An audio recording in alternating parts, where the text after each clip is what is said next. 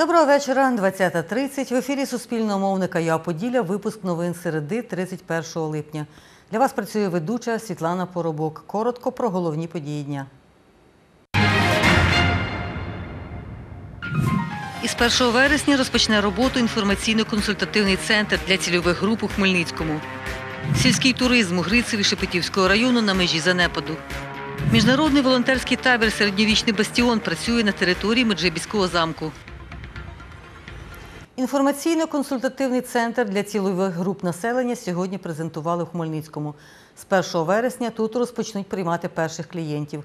Знаходиться центр за адресою вулиця Кам'янецька, 76. Тут надаватимуть підтримку і допомогу тим, хто опинився в складних життєвих обставинах. У центрі працюватиме психолог, розміщуються тренінгові та кризові кімнати. Сьогодні центр офіційно презентували, що наразі тут зробили та що ще залишилося. Дивіться в сюжеті. Ремонтні роботи у центрі тривали протягом трьох місяців, розповідає голова обласної громадської організації Тепло рідних сердець Леся Стебло. Зробили тренінгові та кризову кімнати. Тренінгова кімната передбачає роботу е, в групах, роботу з е, цільовими аудито... з цільовими групами.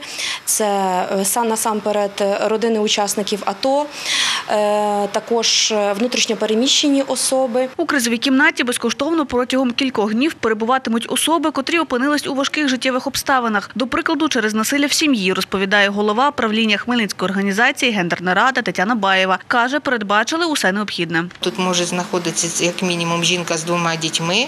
Е, Будуть абсолютно створені всі умови. У нас вже і кухня, у нас і холодильник, і мікроволновка, і посуд. Тобто ми створимо всі умови для того, щоб людина себе комфортно почувала. Великий відсоток жінок не мають куди подітися, тобто вони фактично опиняються на вулиці разом з дітками, або вони бояться заявляти в поліцію, тому що вони знають, що їм нема куди піти. Надзвичайно важливо мати центр, куди дітки і е, батьки, чи це жінка, чи це чоловік, можуть звернутися у разі допомоги.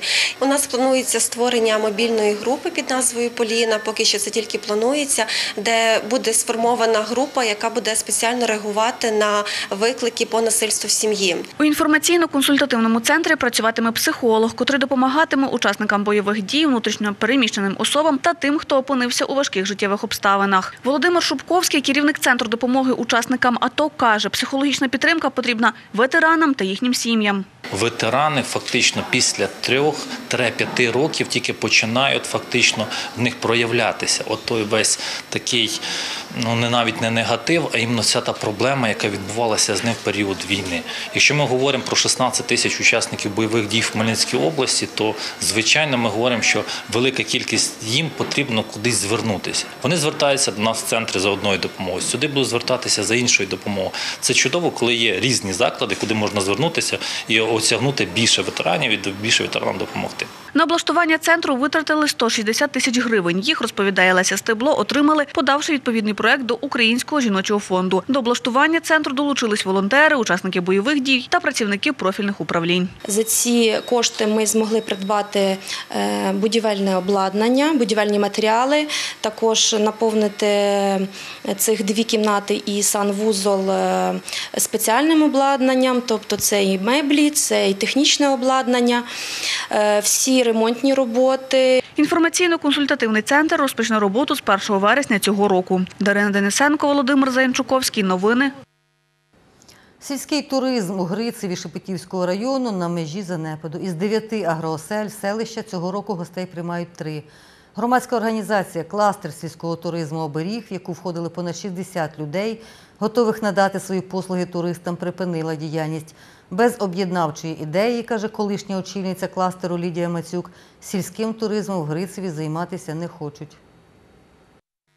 Агрооселя у бабусі одна із трьох нині діючих агроосель Грицева. Тут приймають гостей впродовж 18 років цілий рік, каже господиня Людмила Гуцалова. Я люблю людей, щоб мене приїжджали, щоб мене віддихали.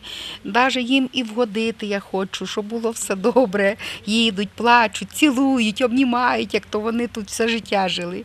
Людмила і Володимир Гуцелови здають туристам три кімнати свого будинку. Ціна 100 гривень за ніч влітку, 150 гривень взимку. Господиня готує на замовлення гостей сніданки, обіди і вечері з продуктів власного виробництва. Водять туристів до лісу і на річку. За виручені гроші, кажуть підприємці, жити можна. Та треба працювати цілодобово. Вони хочуть в лісі ходити, збирати ягоди, гриби ми їх возили, кіньми приїжджали, вбирали гарно конями, возили їх. Це їм, де вони в городі, це побачать.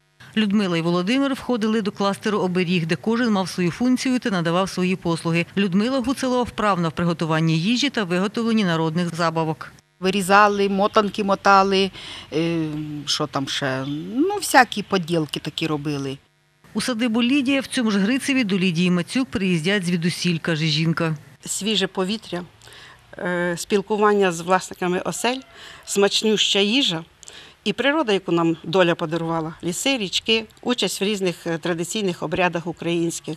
Це і пекли паску разом, і колядувати ходили разом. Лідія Мацюк сільським туризмом займається з 1999 року. Вона відвідувала семінари, вчилася за кордоном, подавала проекти в міжнародні фонди і за ці гроші в селищі розвивали зелений туризм. За програмою обласного центру зайнятості проводила тренінги і семінари для безробітних. Розповідала, як відкрити власну справу в селі. Та після 20 років жінка припинила роботу громадської організації кластер сільського туризму оберіг. Каже, без доріг, туристичних путівників, обласних та районних програм розвитку туризму працювати важко.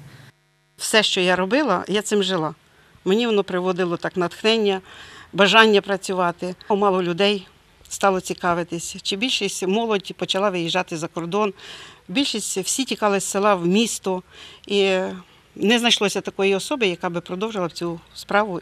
Грицівський селищний голова Людмила Тіфенбах каже, у сільського туризму є перспективи та потрібні гроші на дороги, туристичні путівники, буклети та іншу інформаційну підтримку зареєстрованого приватного бізнесу, а їх в громади поки немає. Я думаю, що Гриців ідеально підходить для розвитку сільського туризму. Я думаю, що на перспективу по-любому воно ще колись буде, тому що багато є напрацювань, багато є досвіду, як це робити.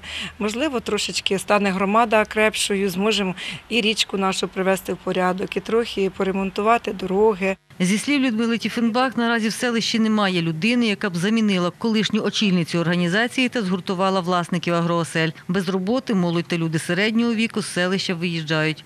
Багато людей зараз їдуть в Польщу, їдуть в Росію, в Прибалтику. Зараз багато їдуть е, в Німеччину, трохи виїжджають. Багато, тому що низькі заробітні плати, не всі можуть утримувати свої сім'ї і через що їдуть. Світлана Поробок, Юрій Чорний. Новини.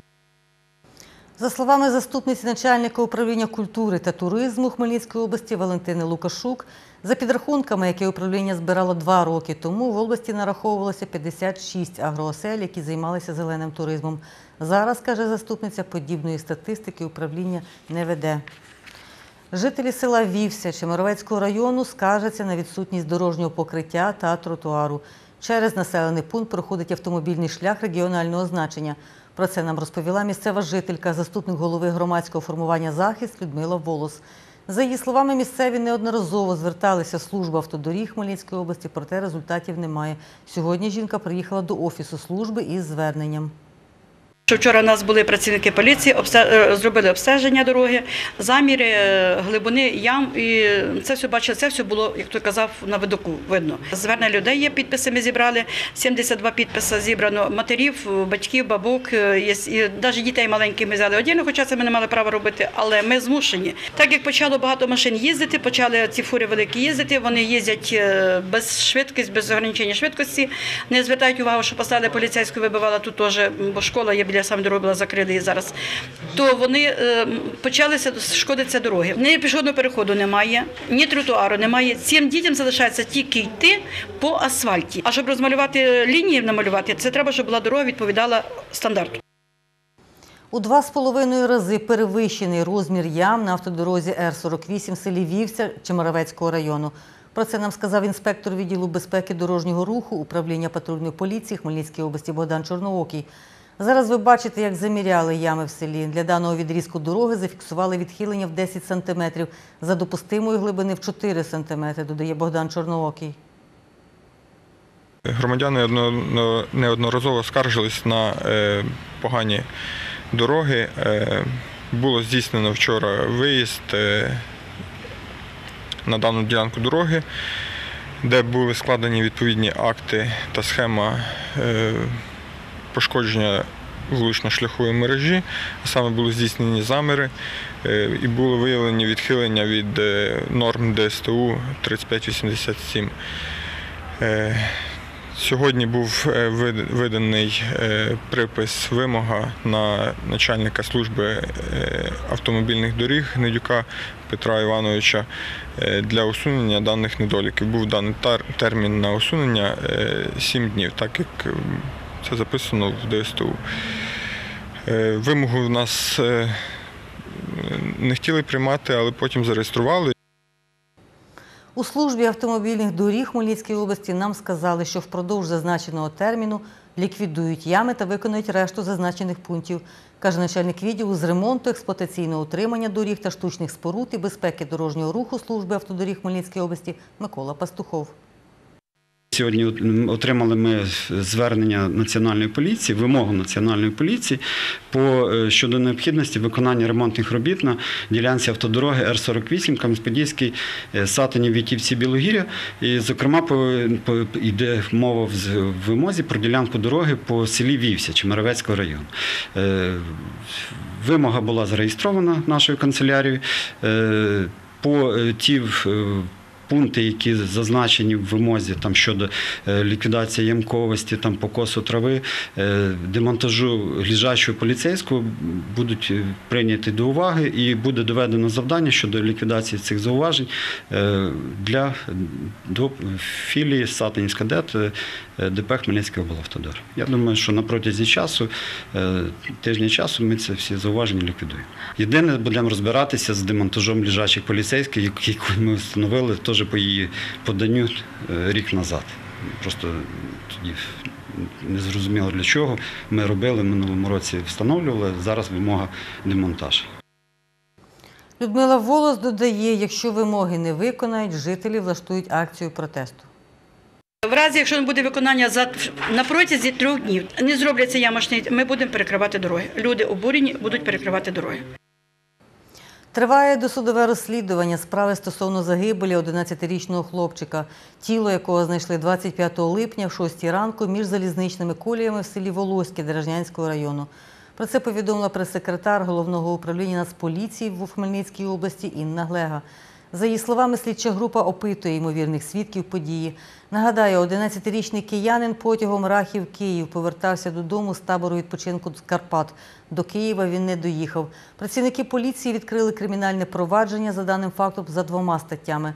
Це стаття 276 Кримінального кодексу України порушення правил безпеки з експлуатації залізничного транспорту, а також за статтею 137 неналежне виконання обов'язків щодо охорони життя і здоров'я дітей. Мільйон двісті тисяч гривень з Хмельницького міського бюджету витратили на ремонт внутрішньоквартального проїзду на частині вулиці Геології обласного центру. Про це розповів начальник міського управління житлово-комунального господарства Василь Новачок. За його словами, відремонтували дорогу від провулку геологів до вулиці геологів. Далі розпочнуться роботи від заасфальтованого внутрішньоквартального проїзду до ринку Сумс. На ремонт цієї ділянки витратять 2 мільйони гривень, зазначає Василь Новачок. Що одна, що друга частина е, дороги е, капітально не ремонтувалася десь, мабуть, е, з 90-х років. Кожного року намагаємося її підлатувати, асфальтувати, але вони вже повністю свій термін відпрацювали. Проблема цих ділянок доріг в тому, що їх постійно з великими дощами підтоплює. Е, Частково е, спробуємо е, з цією ситуацією боротися водовідвідними лотками, ну але маємо розуміти, якщо власники мереж водовідведення, які знаходяться на території ринків, а саме ринки, не будуть їх очищати і за ним доглядати, то навряд чи та ситуація чимось сильно кардинально вирішить проблему Міжнародний волонтерський табір Середньовічний бастіон працює на території Державного історико-культурного заповідника Межибіж. До участі в археологічних розкопках долучилися студенти чотирьох країн з двох континентів. Для чого молоді люди подолали тисячі кілометрів від домівки до старовинної української фортеці, з'ясовувала Тетяна Ворожцова. Е, Це ядро важить, напевно, е, півтора ем, кілограми, тобто це, скоріш за все, до трьохфунтової гармати ядро. Ем, Воно знайдено біля стіни, яка перпендикулярна до е, фасаду палацу, на глибині приблизно півтора метри. Так про знайдене вчора ядро розповідає науковий співробітник сектору археології Антон Барановський. Про студентів-волонтерів говорить. Вони були дуже задоволені такою знахідкою. Так, сподіваються, що знайдуть щось схоже, можливо, під другою стіною. Організатор проекту Аліна Мулик каже, для Межибожа це четвертий проект, у якому працюють волонтери-іноземці. Ідея є не лише того, щоб е, дізнатися а, про розкопки, це так само дізнатися про Україну, про її культуру, а, поділитися історією, культурою країни, звідки ти приїхав. Тобто, це є такий дуже е, багатоканальний, можна сказати, проект. До міжнародного волонтерського табору щорічно приїздять дві команди, каже директор Олег Погорілець. Організація таких таборів це є популяризація історії України в всьому світі. Якщо люди приїжджають до нас з Мексики, Аргентини, з Китаю, то вони дізнаються, що Україна це не тільки Львів, Україна це не тільки Київ, а це багато гарних місць, яких потрібно ще відвідати. Цього року на розкопках працюють шестеро студентів. Є представники Франції, Мексики, Іспанії, Туреччини. Переважно ми знаходили кераміку. Вчора ми знайшли ядро гармати. Щодо музеїв, надзвичайно цікавим є музей геноциду, який є в Меджибожі, адже це українське бачення того, що було з народом, і ви ніколи цього не побачите у Франції. Археологічний музей досить маленький в Меджибожі, але він цікавий тим, що він показує локальну історію, саме яка є тут. І взагалом враження по Україну досить гарні.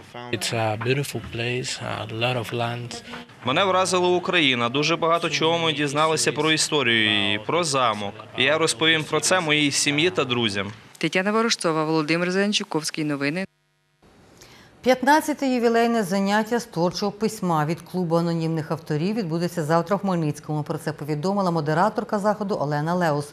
За її словами, ювілейне 15-те заняття присвячене темі Як отримати зворотній зв'язок на твори. Подібні акції відбуваються в усіх регіонах України. Ділиться Олена Леус. По всій Україні вже більше ніж в 20 містах України проводяться такі зустрічі, на яких е, письменники, е, ну взагалі будь-яка людина може прийти, спробувати, е, покреативити. Олена Леус додає, долучитись до заходу можуть усі бажаючі віком від 16 років. Заняття безкоштовні.